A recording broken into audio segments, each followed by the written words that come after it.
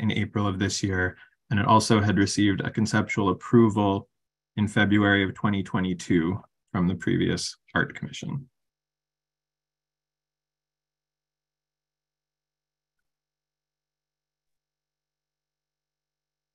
Is the applicant present or the just need a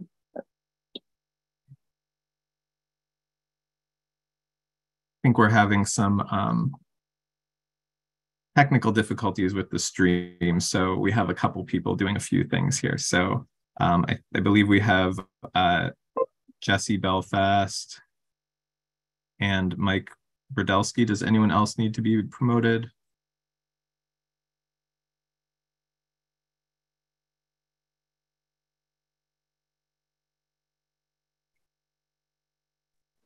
Uh, Jesse or Mike, you should be able to unmute. Uh, yeah, I believe it's just the two of us. All right.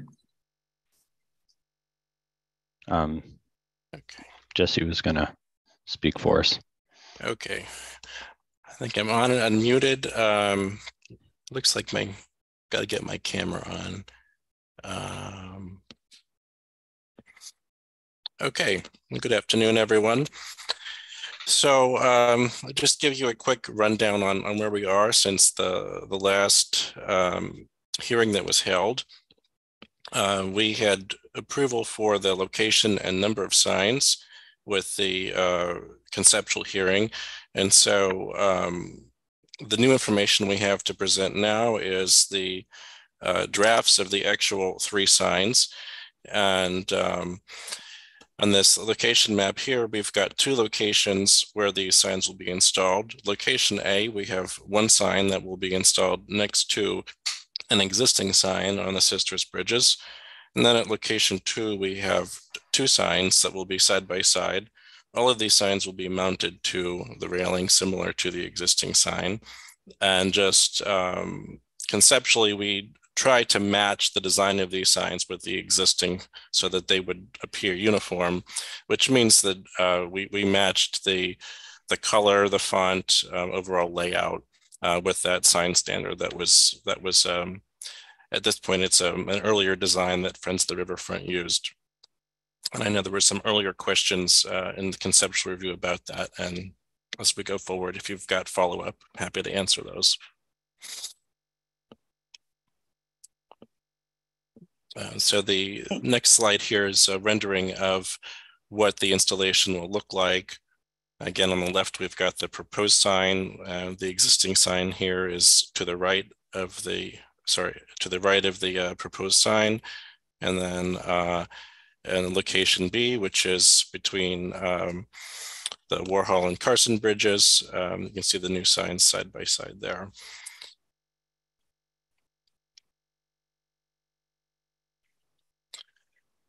So this is uh, first sign, which is site A. Um, this sign's theme is to deal with um, the history of Allegheny County's uh, engineers, um, large construction of public works that went on in the 1920s and early 1930s, of which these bridges were a part. And it also deals um, in particular with um, Stanley Roush, who was uh, an architect that participated uh, both with the Sisters Bridges and some other signature bridges throughout the county. Next slide, please. Uh, so this slide here uh, goes into further detail than what we have on the existing sign on the uh, technology and the historic significance of self-anchored suspension bridges. And we also compare um, uh, the bridges in Pittsburgh with some contemporary bridges um, both slightly before and slightly after, uh, to give some context uh, internationally on this very rare bridge type and how our bridges in Pittsburgh fit in with that. And next slide.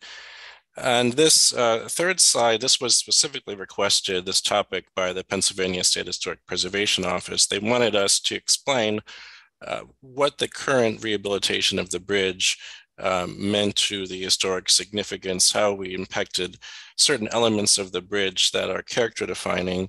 And so we explain a little bit about um, why the rehab was done, some improvements we made to the bridge to um, help reduce uh, future maintenance and deterioration uh, of some elements at the curb line.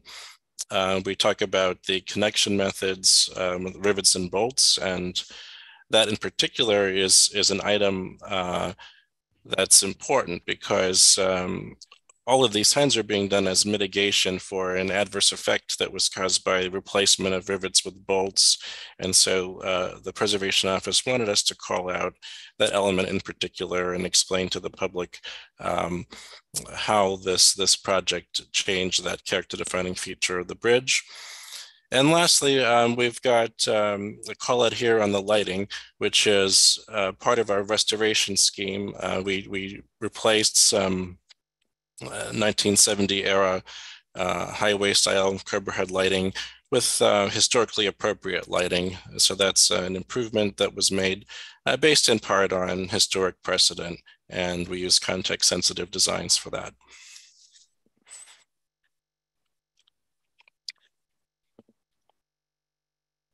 Okay. I know we, we've got um, uh, that's sort of an abbreviated uh, overview of what we're doing, but uh, I'll be happy to answer any, any questions if we've got follow-ups from things that were raised at the uh, conceptual hearing um, last month. Um, and I submitted some written comments, but um, please let me know if you've got any other remarks on what was discussed. Uh, Commissioner Abdullah has their hand up.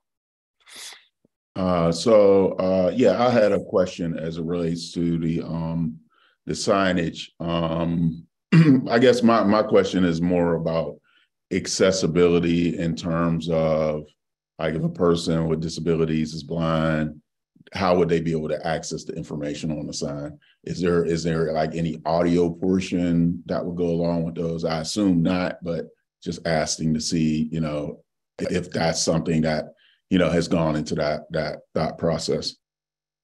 Um, no we're not planning to do any audio component or any braille component. And we we did speak with uh, representatives at the national park service to get some insight on how they deal with this type of interpretive signage. And they typically don't include braille elements.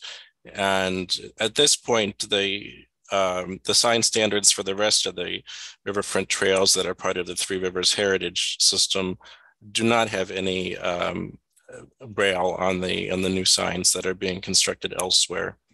And so the short answer is no, but we are being consistent with what's currently being done by Friends of the Riverfront.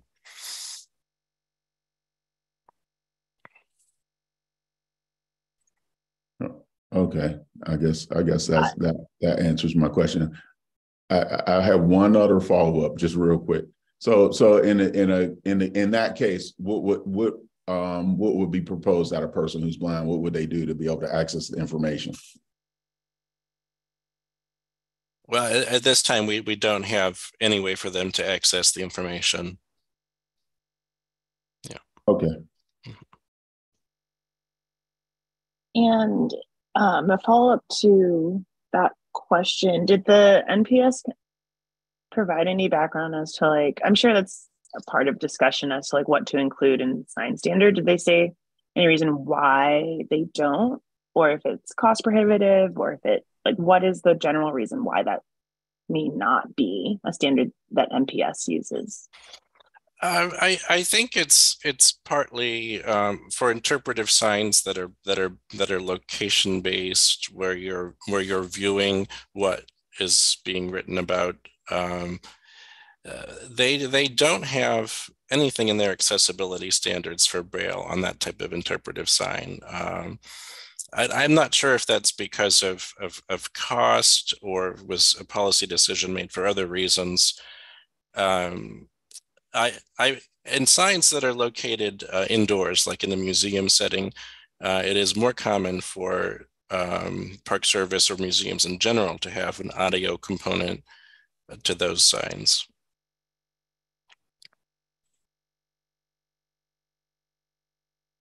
Commissioner Ziegler, I think that your written comment um, revolved around this issue as well. Did you have any additional comment or questions? No, that was I was just wanting to know how how it was resolved, and it sounds like it's not going to be included. Um, I did want to know were there any uh, community comments at the DAM meeting in February? Yes, there were. Um, in fact, um, there were two comments that Pittsburgh Downtown Partnership brought up. The first was a similar real comment to what um, the Commissioner Abdullah just raised, and and we provided a similar response um, with the correspondence we did with Park Service. Um, we also uh, got a question from them regarding maintenance, and um, our reply was that uh, these signs, uh, the, the county is constructing them as part of this project, but any future maintenance would be uh, Friends of the Riverfront's responsibility. In, in, other words, these signs will become part of the, the larger trail system that, that, that they maintain. And uh, so um, at the time, uh, uh, Downtown Partnership said that they may follow up directly with Friends of the Riverfront uh, to see if if what their thoughts were on on maintenance. But I, I do not know if they actually did that. Um, when we followed up recently last month to get a support letter from the uh, Pittsburgh Downtown Partnership, um, the the staff head who was uh, leading the effort in, in January had been replaced, and uh, the new head of that of that group uh, did not have further follow up comments in that regard for us when he provided that letter.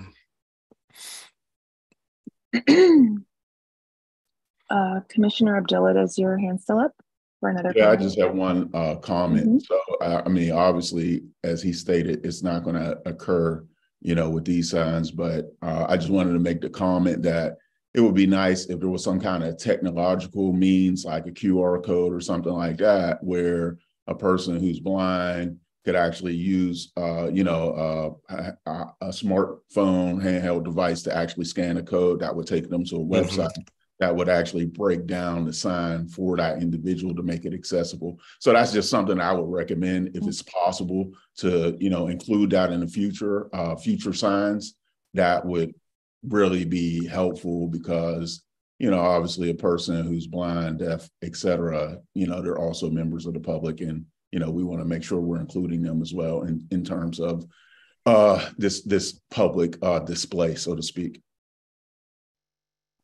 Absolutely. I might actually follow up on that comment with um, not just uh, physical disabilities, but also um, language accessibility and thinking about uh, folks who speak and read in different languages. I do think, as a suggestion in the future, particularly for Friends of the Riverfront who um, would be hosting and maintaining these um, signs, I guess one question I don't know if there is a online kind of um, sister component to these signs. I assume that like you'd be able to go to Friends of the Riverfront's website and find similar information about these signs, or is this information only at the locale? If if you know, you may not know that. I don't believe there is such a site, uh, and you know that's in the past. This this project is in part sponsored by PennDOT, and in the past when we've done signs elsewhere uh, for PennDOT projects, they've typically not included QR codes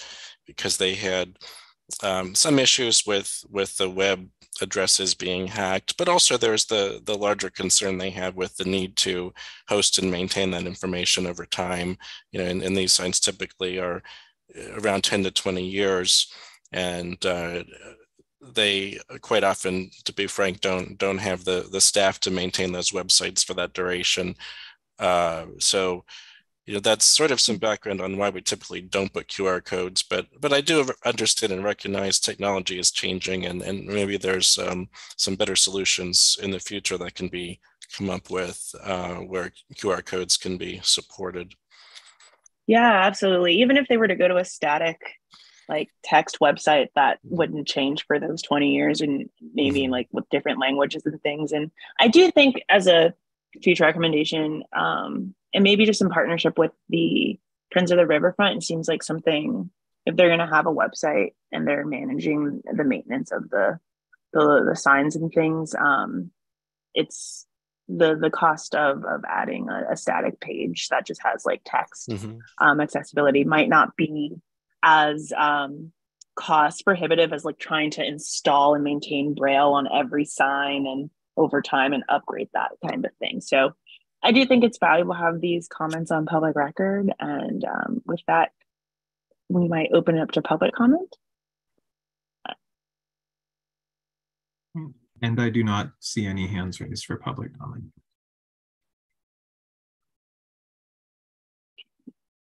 Are there any other questions or comments from the commission before we open up for a vote?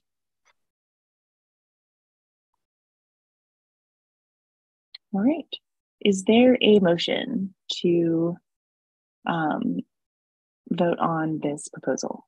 I'll make a motion. Wonderful. Is there a second? Second, And that was a motion for approval. For approval, yes, correct. Yes. All right. Uh, roll call for that motion. Board? Aye. Abdullah, In favor, yes. Carver, Aye. Ziegler. I, All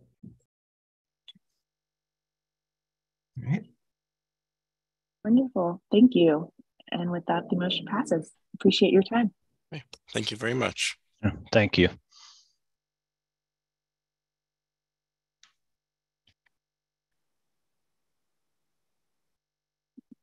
Next on the agenda, as we switch up the Zoom rooms, is the outdoor dining program standards from the Urban Redevelopment Authority.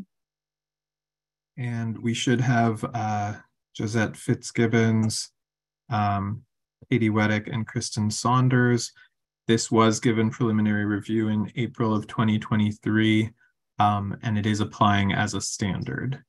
Um, whenever the applicants are ready, uh, the commission has has reviewed your entire package, so no need to go through everything. But if you have any updates or introduction to share.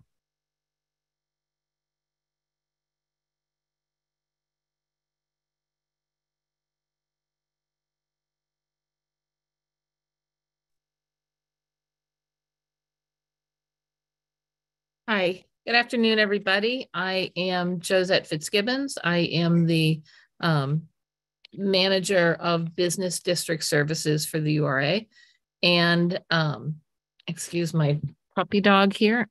Uh, sorry about that. Um, so this program is something I'm going to give a I'm going to give a very quick overview and then introduce um, our other panelists um, to answer any questions that you might have.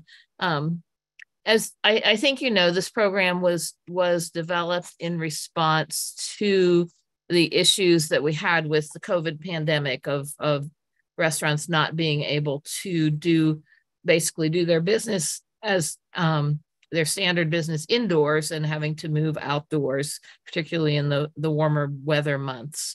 Uh, we did at the URA, we did receive some funding through the American Rescue Plan Act to uh, give grants to our uh, business district organizations to help their businesses with this uh, activity to um, do the the the decks and the the dividers and all of the things that that go into um, having a safe outdoor dining space.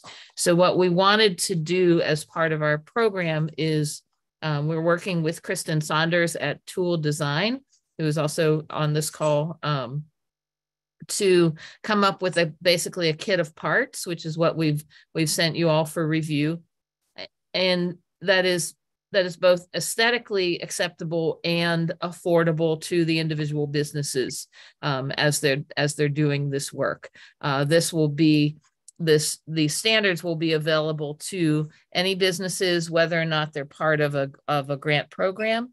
So we wanted to make the process easier and also um, make the whole the whole permitting process easier for more accessible for a business so that when they wanted to do outdoor dining if they were following the standards obviously then they wouldn't they would just have to go through the the standard permitting and not um not come through uh the commission each time they wanted to to um do an outdoor dining um structure. And this, what we're really doing through this is um, providing businesses with an affordable way to expand their business. Um, to uh, most of our restaurants that we work with at the URA are still in recovery from the COVID pandemic, even though we feel like we're a year or two out of it. Um, they're still recouping the costs getting over the you know the being closed for so long so this is a way that we can we can still continue to help our businesses to be able to um, you know expand their seating be able to do their do their work outside and do it in a way that's not cost prohibitive um, so at this point i'm I, we also have with us kristen saunders from Toole Design as well as katie weddick from domi um, we have worked with DOMI closely through this whole process, as well as working within the community. So I think we'll just open it up to your questions um, and any comments that you might have. Thank you. I'm going to directly refer to the preliminary review comments, um, specifically uh, one comment by Commissioner Carver around the Jersey barriers and um, the materiality of them, as well as the corrugated metal roofing. Um, can do you have any feedback for that comment and or uh, Commissioner Carver, do you have any um, clarifications or um, additions to your comment? Just that I think um, there there was a response by the design team on my comments, so um, I did uh, look at those and take those into consideration. And um, I, I, certainly understand um, the, the intent behind them. And so I'm wondering right now there's, uh, in order, because it's a standard, uh, I know you don't want to be too prescriptive, but I think if there isn't some um, direction on finish, then it potentially leaves us open to having raw materials on the street, which I think could be fairly unsightly. So uh, could there be consideration for um, requiring that the two by fours or whatever exposed would be painted or stained um, and uh, some other treatment uh, the Jersey barriers? I think I'll leave that up to either Kristen or Katie.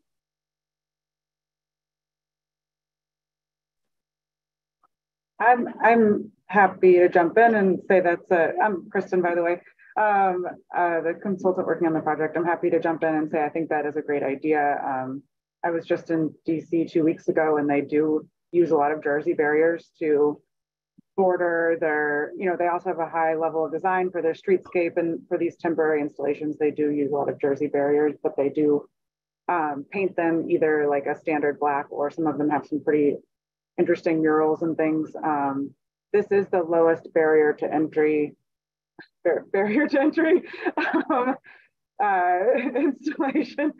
Um, so it would be kind of the you know least impactful for the business. But yeah, I think requ requiring people to paint the Jersey barrier seems reasonable. Um, but I'll let maybe Domi give that the final okay.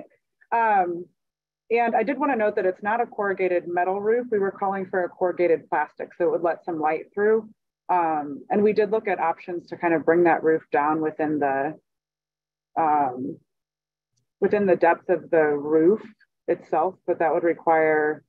We couldn't find a great kind of um, easily accessible gutter system uh, to make that work in a way that people could still build it with materials that are kind of available in the city of Pittsburgh without fabricating something custom. So um, yeah.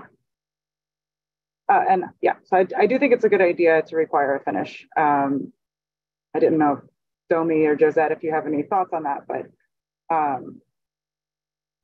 Katie with Domi. I don't have any concerns. I think our goal is really just to get some sort of standard that Art Commission is good with so that we don't have to have, you know, every applicant coming through Art Commission individually. And so if that's what Art Commission is asking for, then I don't see that being a problem. I, it, Justin, to follow up to that, I would say maybe a useful resource for applicants um, might be a list of the various artist collectives we have here in Pittsburgh, if they are considering doing a treatment um, or mural, like having someone, oftentimes that's hard for a business owner to be like, oh, I need an artist, you know, making it really easy to build that relationship and then um, kind of letting it go from there and let the market forces do what they do. But maybe that could be something that um, applicants for this kind of um, uh, barrier receive with uh, the answer to their application. Yeah. I believe you are on mute. I'm sorry, go ahead. Yeah, um, we can certainly do that. Wonderful. The other comments um, uh, revolved around the traffic, vehicular traffic, um, mostly for public uh, edification. Going through these, Commissioner Winston, did you have were you um, satisfied with the answer, or did you have any follow up questions around uh, those concerns about vehicular traffic and the barriers being sufficient protection? See here. Am I calling on someone who's not here? Whoops. Of course. Um, sorry about that. Um, it looks like Domi, Domi, um, and I apologize. I have Katie. Can you, do you mind speaking on that just a little bit?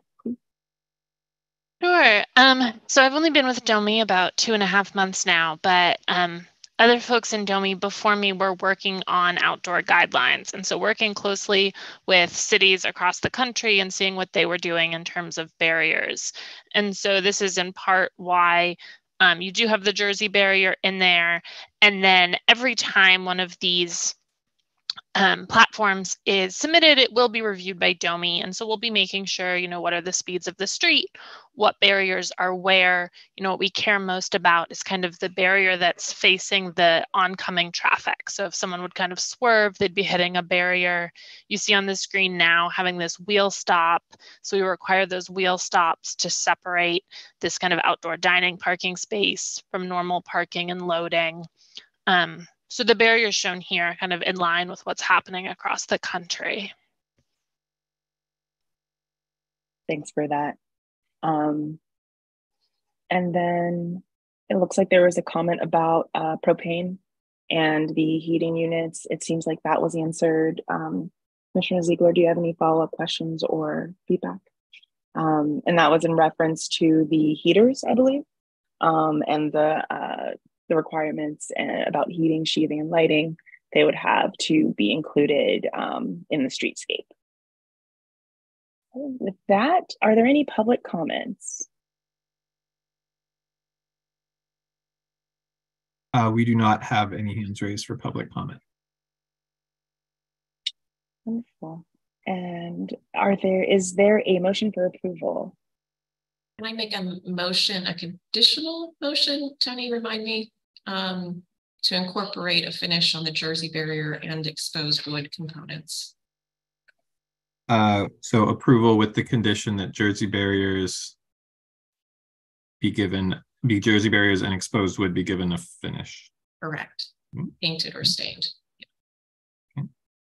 May I add the another one that um, the standard come with an appendix of contact information for artist, um, uh, the artists in Pittsburgh, local artists in Pittsburgh. I think who would be the best?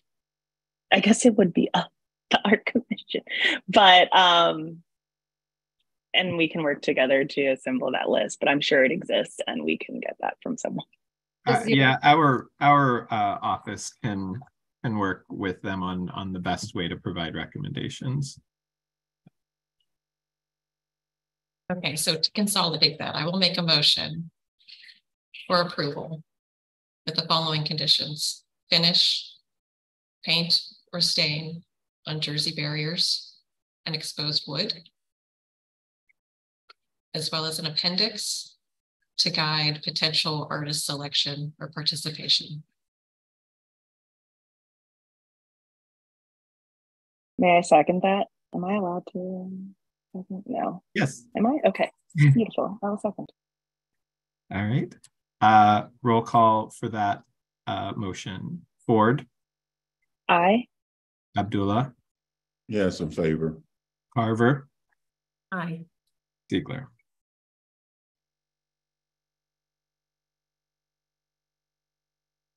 Uh, Commissioner Ziegler, I didn't hear. that. Oh, She I answered, but she was muted. Okay. I, yeah, sorry about that. Thank you. Wonderful. And with that, um, the motion passes. Thank you so much for your time. Thank you. Very exciting thing. Thank you. Thank you. Thank you. Wonderful. Moving right along. Um, the fourth and final, excuse me, hearing and action agenda item is the Anderson Playground renovation presented by Department of Public Works. And we should have uh, Andrea Ketzel, and this was given a preliminary review in March of 2023.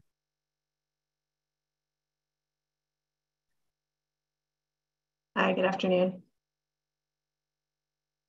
Um, sorry, I missed the the intro. Did you you you said that we were given preliminary approval?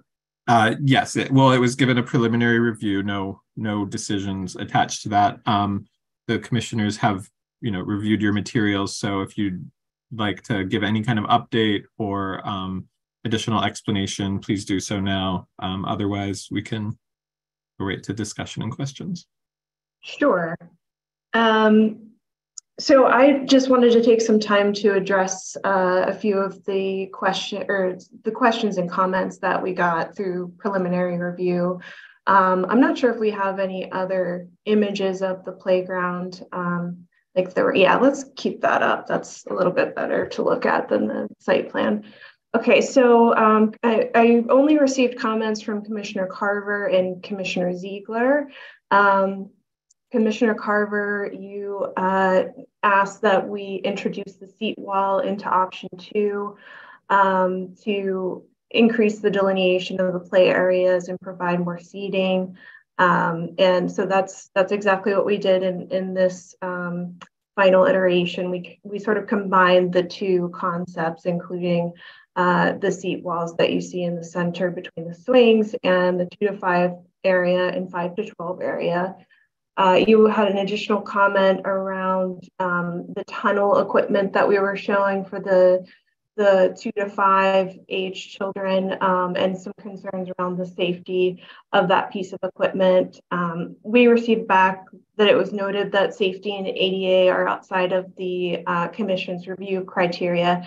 Um, but I just wanted to address that and, and bring to your awareness that the, the tunnels are no longer being proposed uh, as part of the design. Um, Commissioner Ziegler uh, had a few comments um, suggesting we mix both backless and backed interior seating. Um, unfortunately, this rendering does not show the benches, but we, I think I did include some examples of what the benches will look like. Uh, we're working with Urban Tree to uh, design a bench that has half of of the bench will be backed and the other half is backless. So there will be the option to have to sit, you know, in either location. Um, if you've been to the super playground, uh, there's a similar design bench there. Um, uh, you also asked the materiality of the play surface. So that's going to be the poured in place surfacing. Um, you asked why the bike path was eliminated um, that's connecting the playground to the um, bridge and the tunnel. That bike path is actually not being eliminated. It's going to stay as is. And um, it's not part of the scope of work for this project, but we're not um, touching it either. I think it, it shows up as an existing condition. And so that's why you're not seeing it on the plans. Um, you asked the material underneath the stumps uh, and the benches. So for the benches, those will sit on concrete pads and the stump steppers are going to be on the perimeter of some planting beds that will have mulch uh, underneath them and plants to the interior. Um, you also suggested uh, picnic tables in the shade, as well as making sure that they adjoin uh, the other paved surfaces there's not grass in between. And uh, I think you'll see in the site plan that was previously up that we did address that um, in this final design. Um, and then another uh, comment around accessibility, um, which it, again is not part of the commission's criteria, but I'm happy to address it um, once we get into discussion of the play equipment and, and some of the revisions that we've made since preliminary.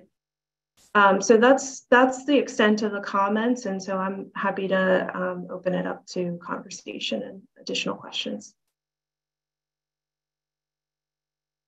I just wanted to clarify for the record that those um, initial comments were from uh, Commissioner Winston and uh, not not me. Just okay. Uh, that's good to know. They show up as, yeah. as under your name uh, for me. Okay. Thank you for clarifying. Sure. Oh, I think there's actually one comment before um, uh, Commissioner Winston. That's Lisa's nose. Um, okay, really maybe. exciting. oh. well, thank you.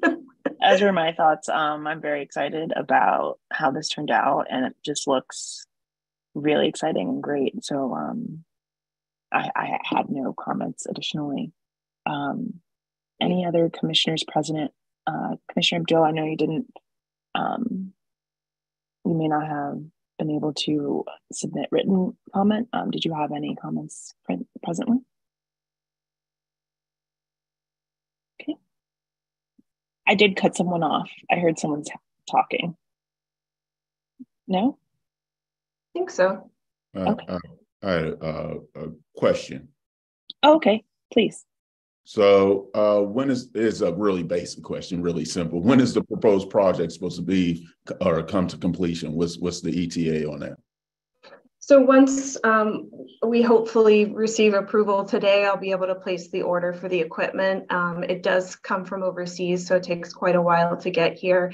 We have removed already the existing playground because it was around 25 years old and really not safe uh, to play on anymore. So in some ways we have started some work. Um, we're just waiting for you know these approvals to place orders and then get the construction set out to bid. So I'm hoping to have some action at least on the site work uh, this summer and wrapped up by next spring. And you said it's coming from overseas. Uh, yeah. Where where at? I'm just curious. Um, so the the playground ground equipment is from a company called Kompan, and I believe it comes from Germany. It's somewhere in Europe. I'm sorry, I, I don't know the exact country. Or... Oh, that's Just and, and good to know. Interesting. Thank yeah. you. Sure. If you want, I can talk a little bit about accessibility of some of the pieces that we selected. Um, the uh, I'm not sure how to describe the the when you're in the five to 12 space, uh, you can see the dinosaur in the background and the um, kind of rope swing um, to the left of that.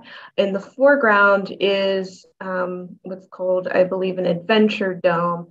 And it has a number of um, different sensory uh, items at the bottom that are ground level so that a child in a wheelchair or with um, mobility issues would be able to access those at the ground level. Um, we are also including um, the nest swing um, and the swing with me swing on our swing set. So those are both intended to be inclusive pieces. Um, I may also swap out um, one or two of the swings for the traditional ADA swings that we have throughout uh, a number of our playgrounds. Um, and then um, I think those are kind of the, the specialty pieces, but of course we have to meet all of the requirements for ADA. So uh, for every uh, piece of equipment that's up in the air, there's a certain number that of pieces that have to be at ground level. Thanks for sharing that information. Sure. This is um I have one question that you may not know, maybe it's the wrong person. Um the plant palette, the um when we are planting trees and doing things in public spaces, is there any opportunity for plant identification? Um like I know it's like the tiniest sign, but understanding what's in the park, what's growing in the park. I don't know if that was thought about or even that's even a part yeah, how... um, sorry, go ahead. No, oh, please, please, okay. I'm rambling. Okay. Yeah, I it would be cool on this project because I think uh, you know we are planning to use some different um, plant material that are a bit prehistoric as well, so ferns and things like that that have been around since since the dinosaurs. So it would be cool, I think, to include some signage to at least identify that. Um, in terms of just larger scale identification, I know our forestry department is working on um, standardizing some signage for our arboretums. So, you know, once that's done, hopefully we can kind of carry that through to some other parts as well. Thanks for that. I really like that idea. So maybe we can um, find a way to identify some of the plants in the park as well. I feel like a lot of toddler parents would be thankful. Okay. Go find the blank. Um, any closing comments and uh, questions? you know, just to reiterate my preliminary comment, it is an exciting project and kudos on your presentation. Thank you. Thank you. And Kompan is from Denmark. I just it just hit me. One of those. Yeah, no, really exciting. Um, is there a motion for approval? I motion for approval. Wonderful. Is there a second? A second. All right, roll call for that approval. Board? Aye. Abdullah? Yes, in favor. Carver? Aye. Ziegler? Aye. And the motion passes. Thank you so much. Thank you very much. Wonderful. And that concludes the hearing and action portion of our agenda. We are now moving to the director's report. All right. Uh, I see uh, we have Director Abrams on here. Director, would you care to say anything or shall I go right ahead? Um, I was just gonna say the one thing um, and let you deal with the other other things, Tony. I know that um, if many of you may not know, but um, Sarah Minert, um, our assistant director, has left the city, and we are very saddened by that. Um, but I just wanted to let you know that we did put out a um, a uh, job position notice um, to have a replacement filled that position. Hopefully, we have a 30 day notice for that. So, hopefully, within the next couple of weeks, we will have interviews and get somebody on board to replace her. She's, she's not replaceable, but we need somebody in here to do some work. And we're looking specifically to really kind of um, support a lot of the design work, right? We have, you know, expertise in historic preservation, as well as public art, we're looking for the design aspects of it. So, um, and that's kind of something that we've added to the job description.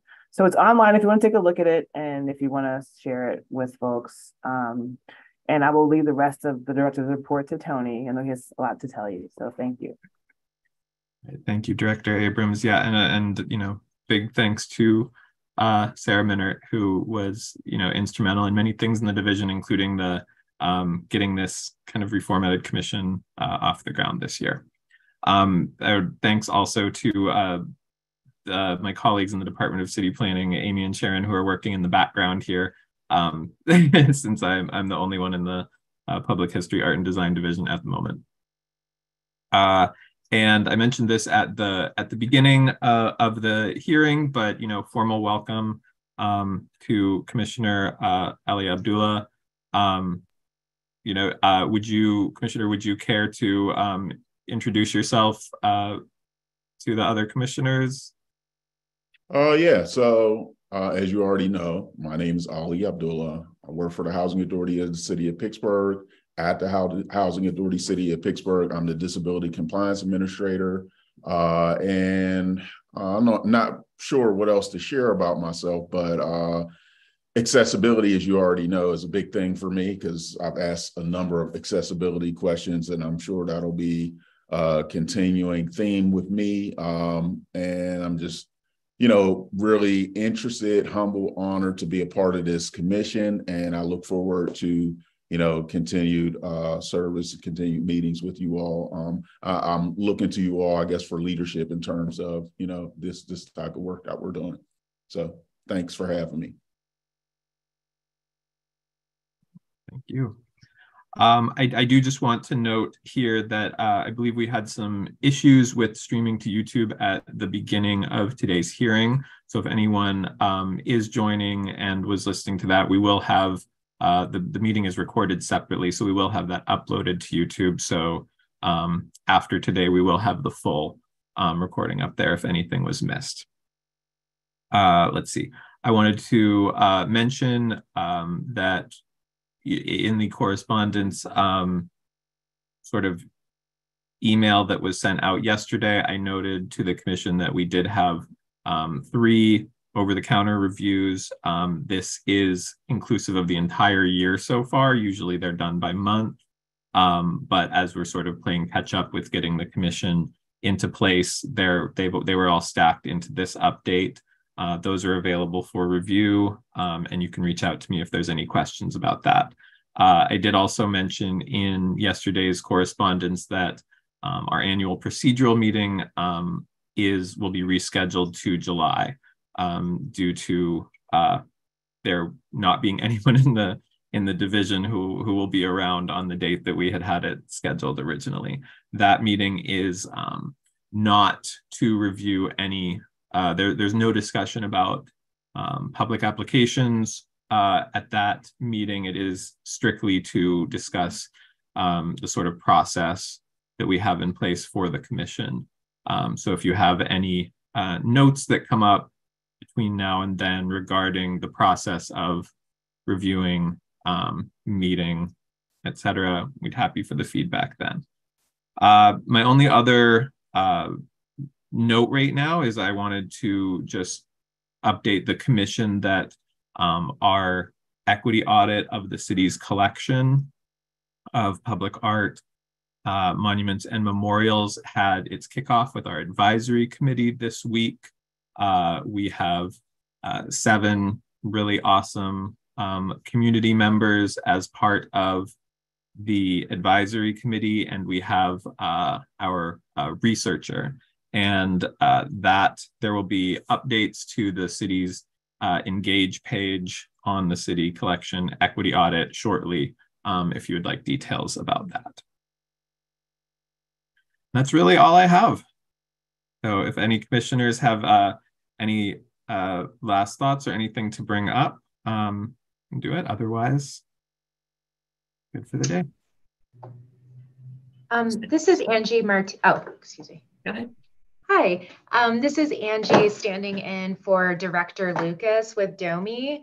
Um, I just wanted to take a moment to uh, thank the Commission for um, your review and thoughtful comments of um, the outdoor dining platforms. Um, DOMI is the city department that wrote those guidelines, so we think of it as like, you know, setting the the standards for um, the footprint of it, but the URA really and their consultant um, did an excellent job, I think, fleshing that out into practical guidelines that can be picked up by um, businesses um, to actually, you know, improve the public space. So thank you guys for being a part of that process. And uh, thank you, Tony, for um, your assistance in getting, I think, this commission's first uh, city standard um, through the, the process. So we look forward to doing more. Thank you, Angie.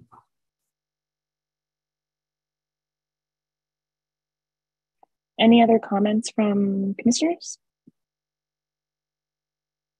Wanted to welcome Commissioner Abdullah. Welcome. No comments from me. I, I, what did you say? I, I, missed what you said. I was. I, I, think we were talking at the same time. I apologize. Just wanted to welcome you. Oh, thank you so much. With my motorcycle traffic behind me, but yes, welcome. thank you. Welcome. Um, thank you all for such a great meeting. I thoroughly enjoyed myself. Um, if there are no outstanding comments, I guess we can call for the close of the meeting. Mm-hmm. Wonderful. And at 5.06, we are adjourned. Have a lovely evening. Thank you. Bye, Thank you, commissioners. Bye, everyone. Have a good evening.